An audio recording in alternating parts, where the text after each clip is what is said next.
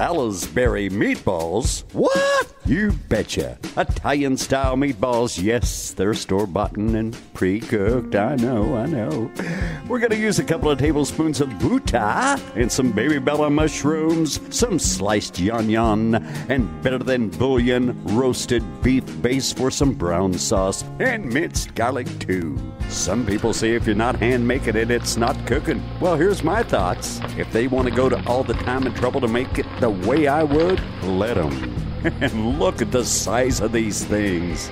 Gonna slice up some onions so we light our no cry candle to burn up the fumes. And if you gotta smell something, it needs to smell good. And there's the onions sliced up and ready to go.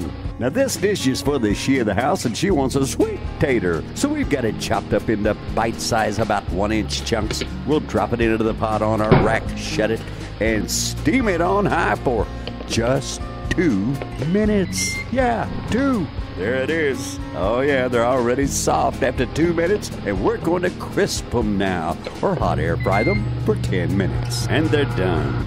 Ha ha, they're looking good. Now, if this was for me, I would have brushed a little buta on them with a little brown sugar and a touch of cinnamon. But it's not for me, so fresh ground black pepper is all she gets. Couple of tablespoons of buta going into the pot, along with a little bit of extra virgin olive oil. Along with these baseball sized meatballs, we're gonna sear them at a medium high, get some char on them. Oh, yeah, and they're looking good. Get them out of the pot and make room for our yum-yums to saute now in that beef flavor from the meatballs. Just gonna saute them for a couple of minutes. We don't want them mushy, we just want them tender. Oh, they're looking good to me. I'm gonna add the baby bellas to the pool now.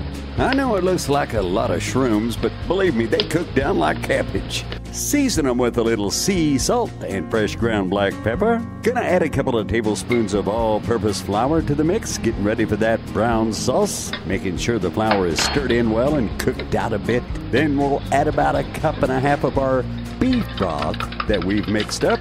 Just throw it into the pool too. Another little trick I use is kitchen bouquet. It's a gravy seasoning that darkens your sauce and makes it look rich. About a capful. Uh, one more thing. For two cups of sauce, two tablespoons of ketchup. Don't tell anybody. All right, there's the meatballs along with the mushrooms and onions. See those mushrooms? You can hardly see them.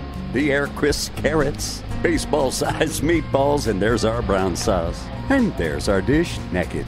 We'll dress it up a little bit with that yummy brown sauce. Oh, I can hear the angels singing. No, actually, I think it's my stomach. Anyway, there's my spin on the Salisbury meatballs. I see you while ago.